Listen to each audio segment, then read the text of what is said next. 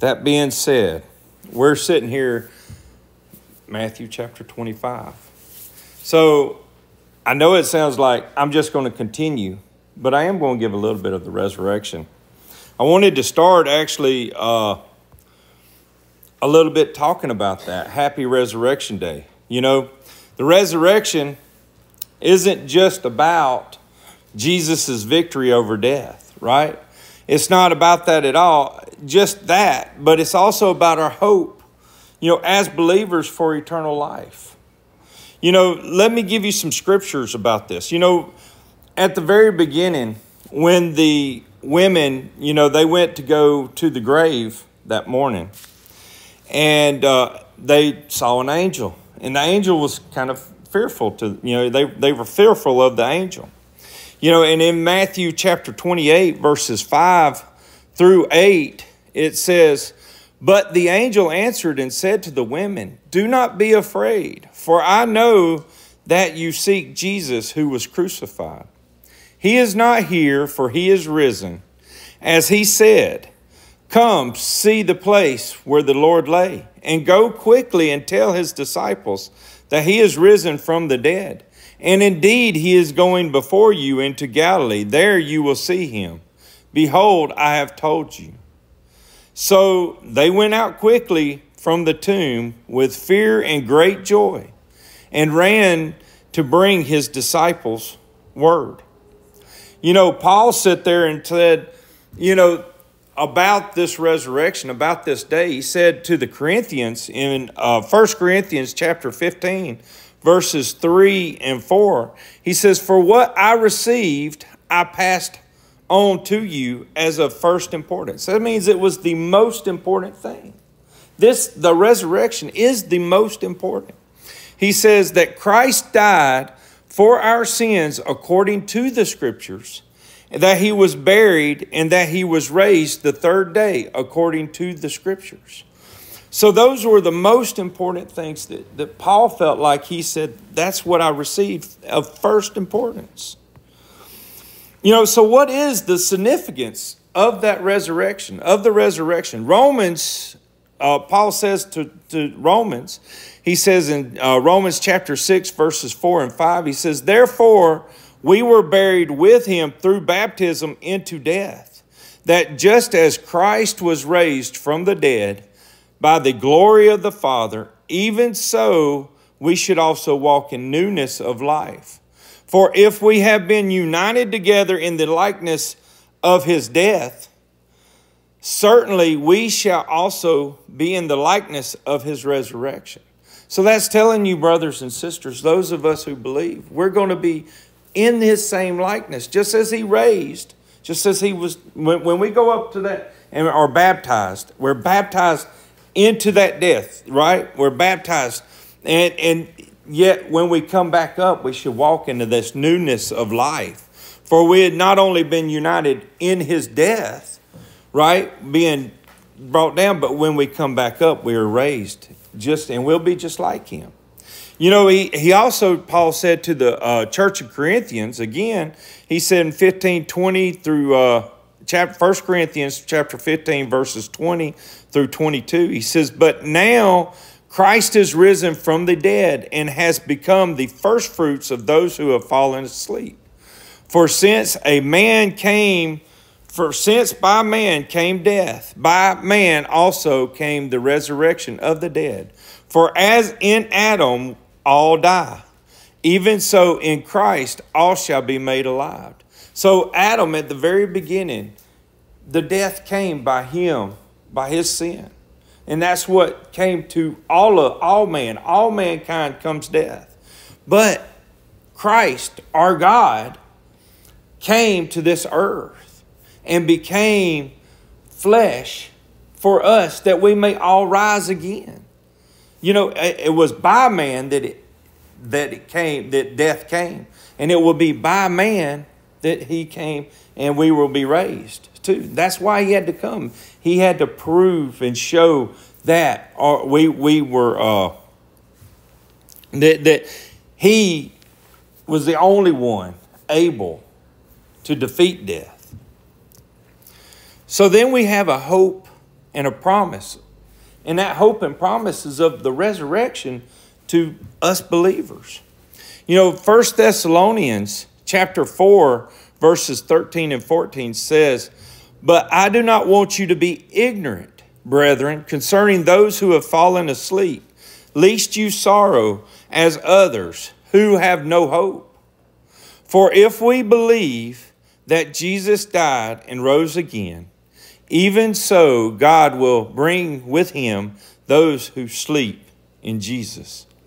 You know, that reminds me of something that, you know, and, and this is, I don't really remember dreams much, and I'm not saying that this is a, a, a big dream, but you know something? I have hope that I, you know, I'll see my loved ones again. Well, I had a dream last night, and I guess thinking about this, and I had a dream that I saw my Uncle Truett, and I saw my Uncle Joe, and I even saw my grandfather. And we were we were at a church like service, and I was fixing to stand up, and I was just like I'm preparing today, just like I, I come in in here. But when the people started coming in, it was my loved ones, and they were young again. They weren't, I didn't really recognize them. And it was just like, maybe it was just the Lord give me that dream. And so that was something that just happened last night. Wasn't planned on putting in here. But it was just a dream, and it was just a, a, a brief second. And I still remember that in my head. And, and, our, and, and, and there was many people all the way through. And so, you know, it's just something. And so that is our hope, though, that we will see him, see our loved ones again, you know, that we will see them again. You know, uh, John talked about what our Lord said. And he said that to uh, Martha, right? When Lazarus had died. In John chapter 11, verses 23 through 27, Jesus said to her, your brother will rise again. And Martha said to him, I know that he will rise again in the resurrection at the last day. And Jesus said to her, I am the resurrection and the life. He who believes in me, though he may die, he shall live. And whoever lives and believes in me shall never die. Do you believe this? And she said to him, Yes, Lord. I believe that you are the Christ, the Son of God, who has come into the world. Do you remember that right there reminds me that's what Peter said to, to Jesus when, when he went up there and he says, You are the Christ, the Son of the living God, right? And, and Jesus says that, you know, flesh and blood didn't give you this, but my Father who is in heaven who told you this. So there's a promise for us believers that we will see all those who believe. That's why it's so important that you, you, you, you witness to your loved ones and your family and your friends. You know, and you, you know the hope that lies within you. You have a, an answer to give to them. You know, so that they, because I, I, I long to see those. So, the future of the resurrection. You know, the resurrection is not a New Testament thing. Daniel talked about it. And it will lead us into what we were talking about with the marriage supper of the Lamb. You know, and the and the bridesmaids and and the and the uh, the ten virgins. But let's read right here Daniel chapter 12 verses 1 through 3. He says, "At that time Michael shall stand up, the great prince who stands watch over the sons of your people. And there shall be a time of trouble such as never such as never was since there was a nation. Does that remind you of something we've been reading lately? We've been studying in Matthew chapter 24. Even to that time, and at that time your people shall be delivered everyone who is found written in the book. And then verse 2 says, And many of those who sleep in the dust of the earth shall awake, some to everlasting life, and some to shame and everlasting contempt. Those who are wise shall shine like the brightness of the firmament, and those who turn away turn many to righteousness like the stars forever and forever and ever. You know, when it talks about this is a part of that resurrection, he's saying they will rise. Those that sleep shall rise and shall wake, some into everlasting life, but some into everlasting contentment. And we don't want to see any of our loved ones in that place. So, as we sit here and we remember this, this takes us right on into what we were talking about. Matthew chapter now we're in Matthew chapter 25, verses 1 through 13. It's the parable of the wise and the foolish virgins. Right? And this goes on with the same just because there's a chapter difference right there.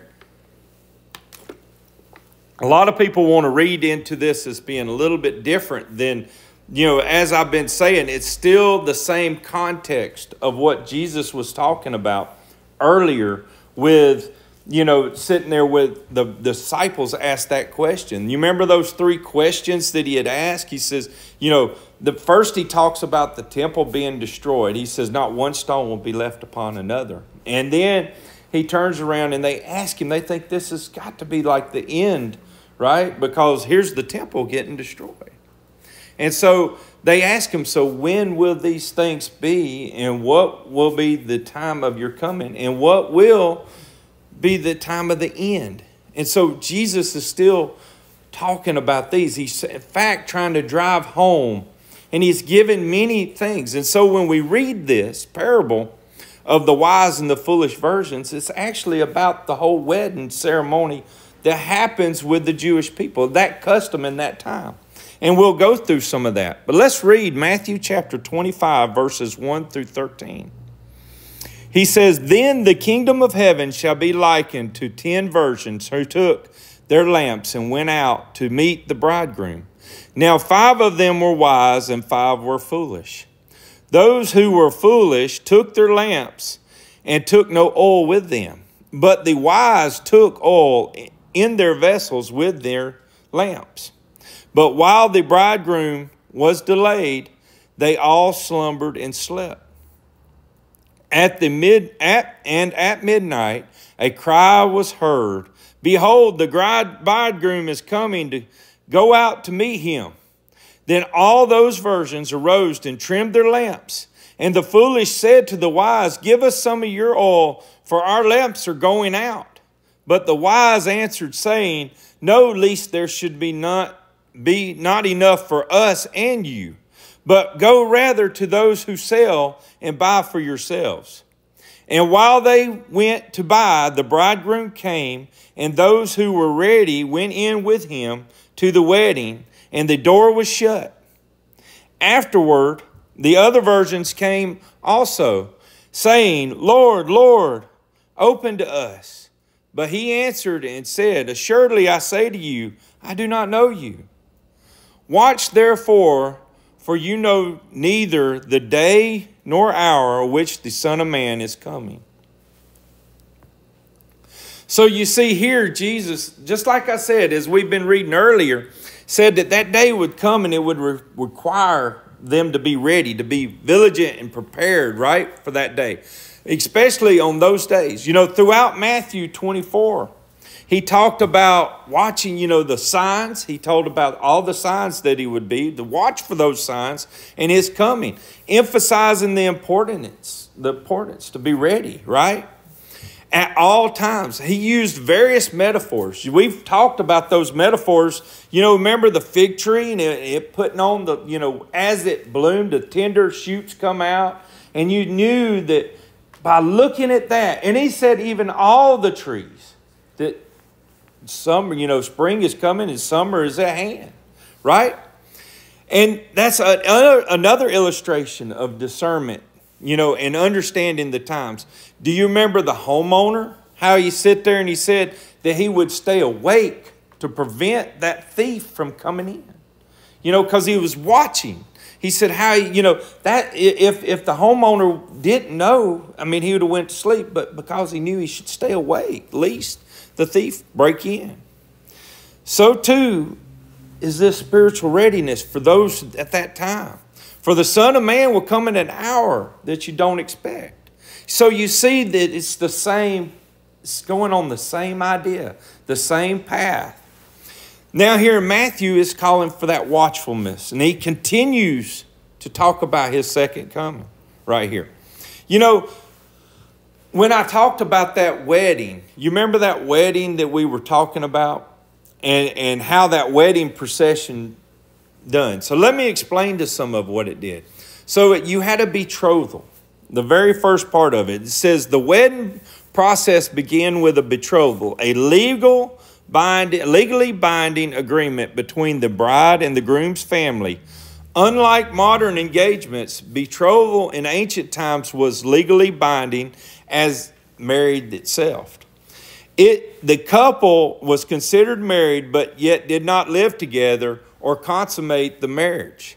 This period could last for several months, even up to a year, symbolizing the commitment between the bride and the groom and each, you know, between each other.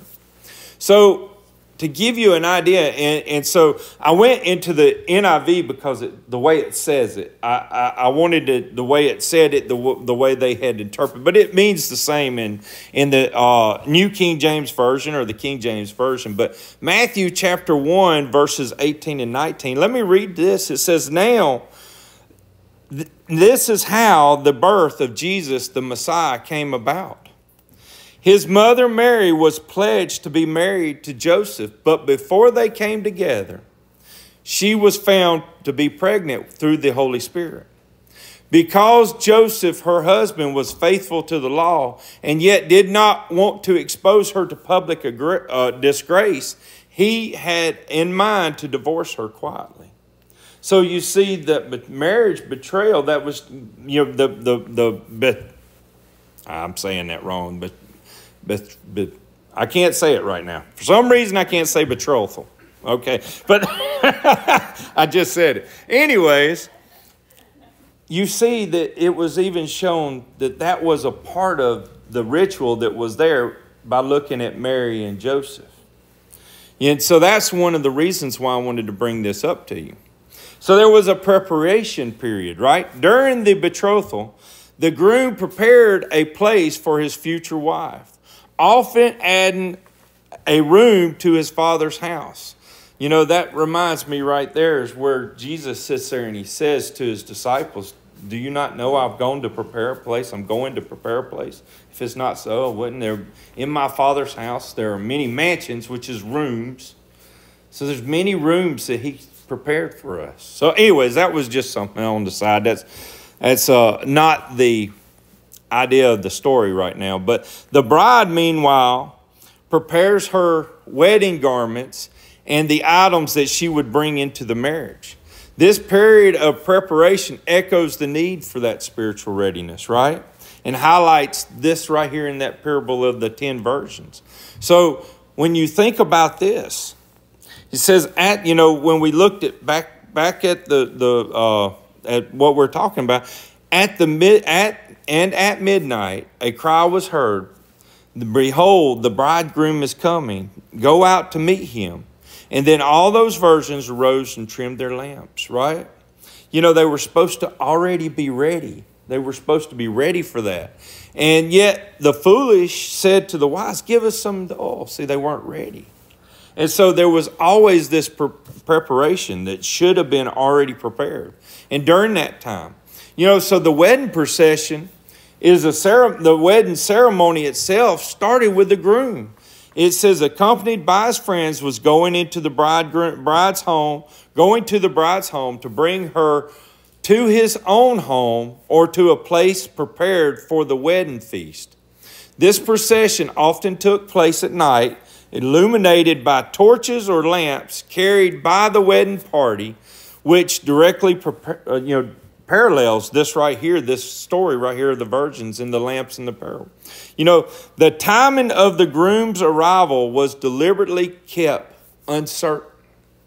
They didn't want it. The tradition that tested the readiness and prepare and, and pay, readiness and patience of the bride and her attendants. The bridesmaids or virgins needed to have their lamps ready whenever the groom arrives, emphasizing the theme of vigilance, you know, of vigilance and preparedness, right?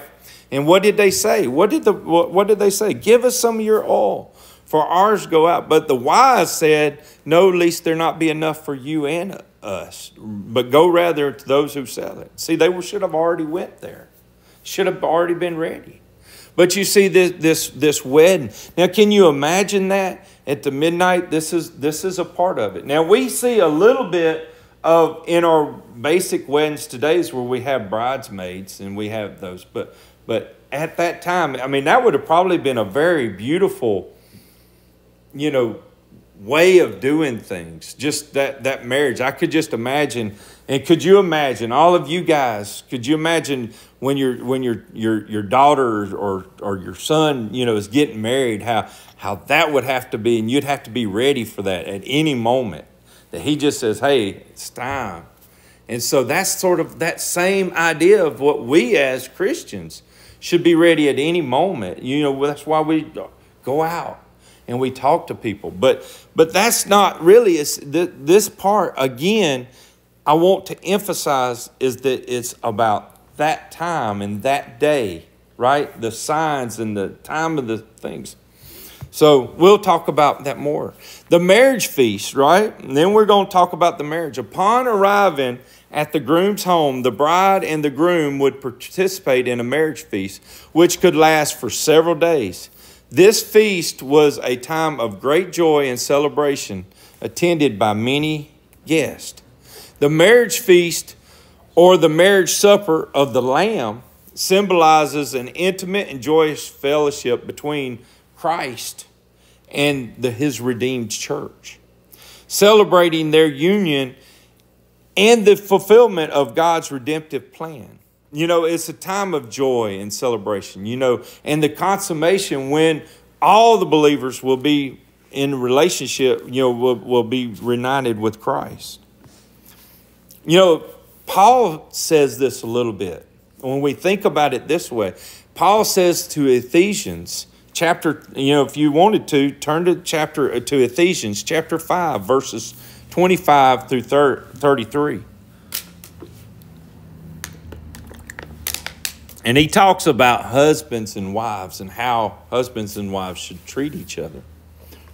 He says, Husbands, love your wives just as Christ also loved the church and gave himself for her, that he might sanctify and cleanse her with the washing of the water of the word, that he might present her to himself a glorious church, not having spot or wrinkle or any such thing, but that she should be holy without blemish.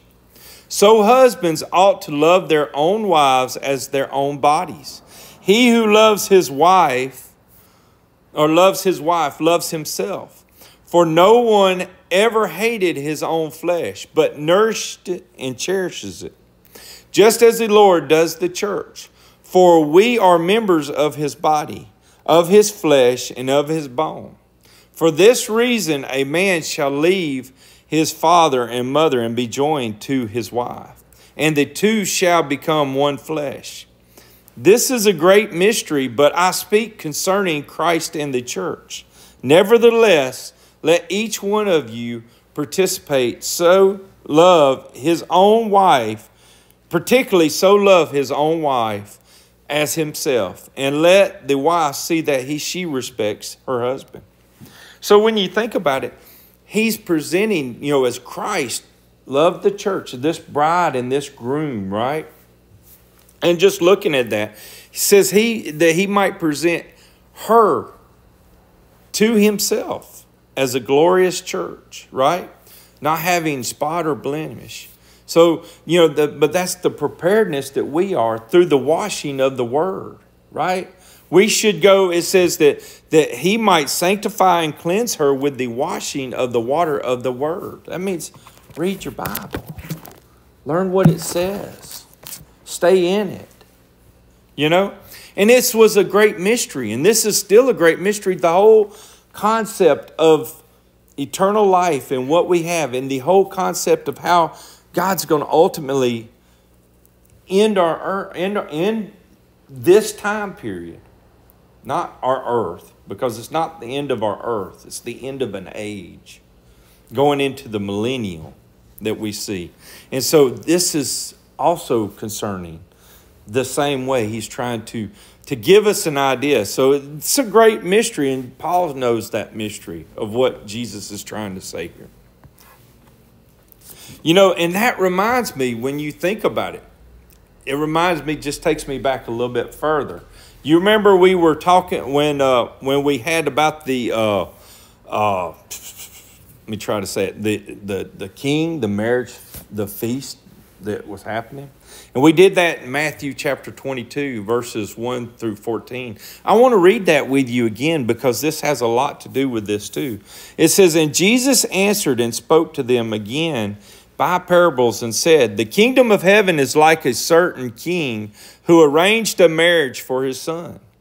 And he sent out the servants to call those who were invited to the wedding, but they were not willing to come. I want to stop right there. And one of the things that I, I sit there and I think of straight to that, where, where they're not willing to come, was what did, it, what did Jesus say?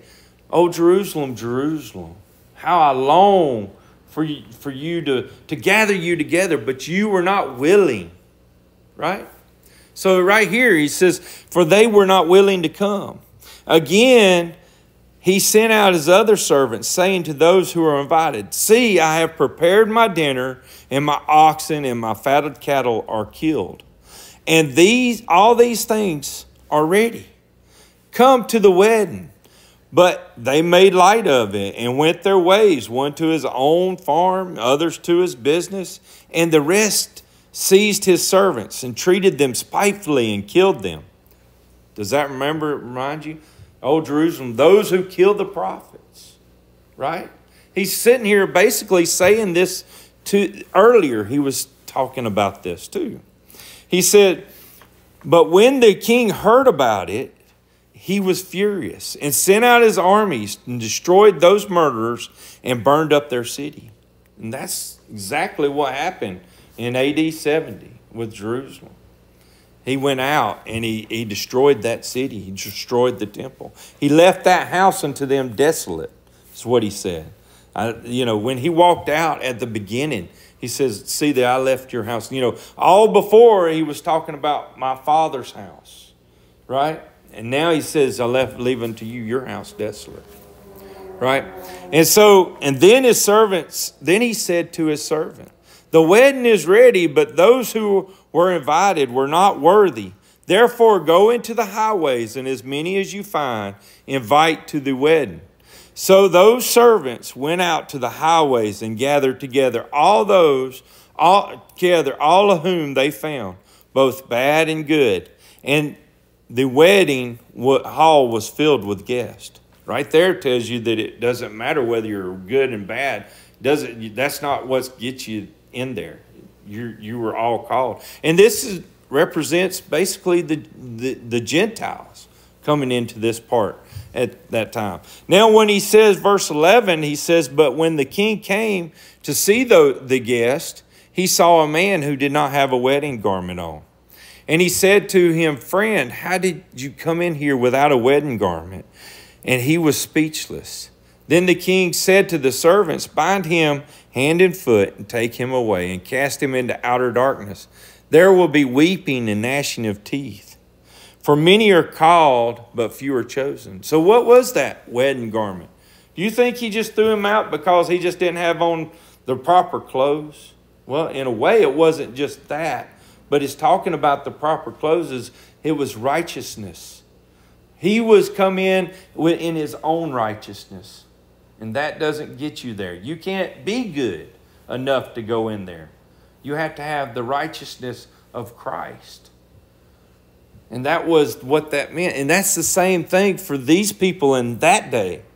When they come to this wedding feast, their righteousness is not going to be their own righteousness by following the law. Their righteousness is going to be God's righteousness that covers them. And so that's part of what's speaking. And that's what that's what's right there. That's what he that's what he he has. You have to have that. If you don't have that, you'll be thrown into. And you think you're prepared, but you're not. You see, you got your lamp, but you don't have your oil. So you have to be prepared. And this is for those people at that time, right? Now, right now, you know the the you know let me let me continue. Let me continue instead of getting off track. So the role of the virgins, the virgins or bridesmaid in the parable can see, be seen as playing a role similar to that of friends or attendants in an ancient wedding, who had the duty of welcoming the groom with lit lamps and participating in the procession.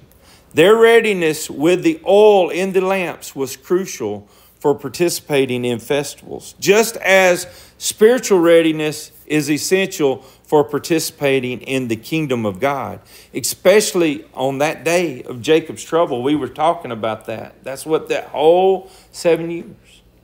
They need to be realized, they need to see the signs that's happening. And then they need to realize, because they can, you may think you make it all the way through the tribulation. But at the end of that day, he's going to come and he's going to separate. That's what we just went through. That sounded so much like the rapture. But he's going to have his angels take and bind up those tares and cast them out into the fire. Even though they made it through that tribulation time, they still are going to be cast out because they didn't have their oil for their lamps. Right? They weren't ready, they weren't prepared. Their own righteousness isn't going to get them there. They have to trust in God during this time. And that goes for everybody on that world on the world. You know, at that time we will be right up there in heaven during that 7 years. We have that other hope that we're going to be go to him. You know, Matthew chapter 25 and it says while they went to buy the bridegroom came, and those who were ready went in with him to the wedding, and the door was shut. You know, when I look at that, the door was shut. What does that also remind you? And that's what our Christ, our Lord, also reminded us, just as in the days of Noah, right? You remember that? He said, just as in the days of Noah. Well, that let me read that part of that just in that day of Noah, when Noah when Noah entered into that ark. And it says in uh, Genesis chapter 7, verse 16, it says, So those that entered, male and female of all flesh, went in as God commanded him, and the Lord shut him in. The door was shut. That was the finality of that, right? The moment the door shuts carries a profound theological implications right here. It symbolizes the finality of God's judgment, separating those who are to be saved from those who will face the consequences of their actions. The theme of divine judgment and salvation is echoed in other biblical narratives you know, that we're just now reading right here. This is the same thing, including the parable of the foolish virgins, right? This parable, the bridegroom arrives unexpectedly, right? The, the wise virgins that were prepared entered in. They had the oil, they had their lamp. But the foolish ones, you know, they were outside. And later on, when they came knocking, they let us in. What did he say? He says, I don't know you. You weren't, you, you didn't do, I don't know you. Both narratives, Noah and the ark and the parable of the wild, emphasize the importance of readiness. So those people on that day will have to be ready. And now, what is being ready? Trusting in the Lord Jesus Christ. Trusting, even though they aren't, the, there will be many people missing and disappeared on this face of this earth because the rapture will come. You know, now you can go right now if you trust in Him. But we know there's not going to there's going to be people that don't trust. And we know there's going to be people at that time because this word right here tells us this is going to happen. You know, just like Jesus told that just like Jesus told the Pharisees and Sadducees, if they would have believed Moses, they would believe and look for his day coming. I believe what this word says. You have to believe it. If you don't believe it, then you're going to say, I don't know, whatever, I don't know. And then you're going to be ones that will be left. You don't want to be that one that's been left, nor do you want to be the one that's taken off when you see all these other signs coming about. You don't want to be the ones that's gathered up by the angels at the end of the age as the tares and cast into the fire.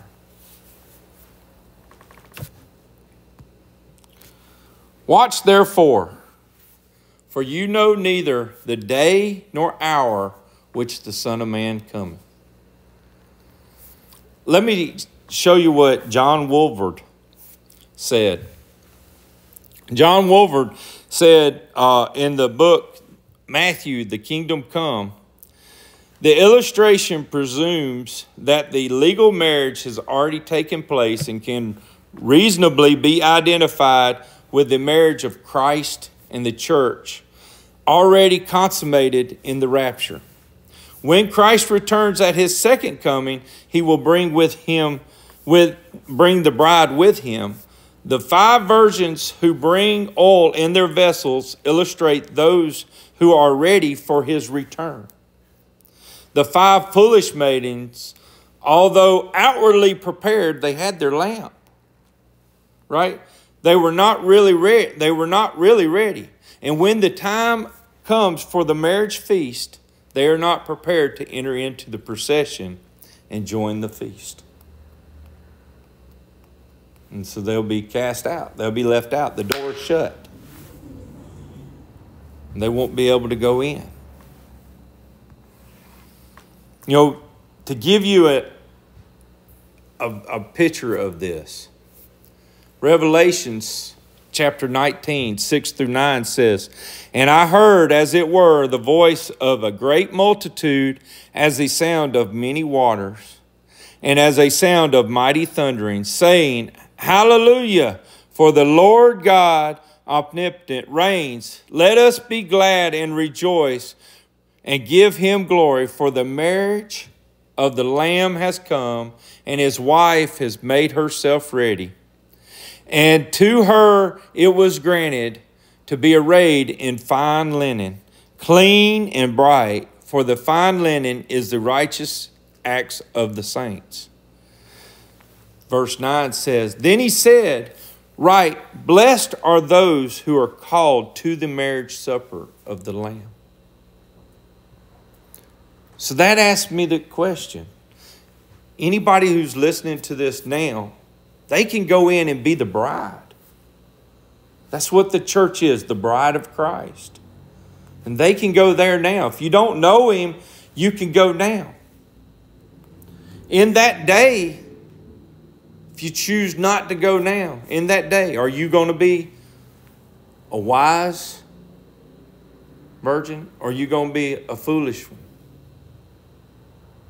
That's the whole thing that the question is. He says, Right here, the, he, the angel said to John, he says, Right, blessed are those who are called to the marriage supper of the Lamb. See, he says, Let us be glad and rejoice and give him glory, for the marriage of the Lamb has come, and his wife has made him made herself ready. But then later on, he talks about those who are called to the marriage. I would say be the bride. But like I said, we know there's many who's not going to listen to that. And so, be the wise virgin. Prepare yourself. Understand the times that's there. Let's pray. Dear Heavenly Father, we just thank you so much for everything you've given us, for your word, Lord, for everything you've said in your word, for helping us, Lord, to understand those things, to understand those words, to understand as they go. Lord, Lord, not only only that, but just thank you for rising. Today was the day of that we have hope. You know, it, it, there's going to be those who rise and those that rise into everlasting joy and those who rise to everlasting contentment. Lord, we love you and we thank you. Please let everybody who hears my voice be those that rise to everlasting joy. We love you. In Jesus' name we pray. Amen.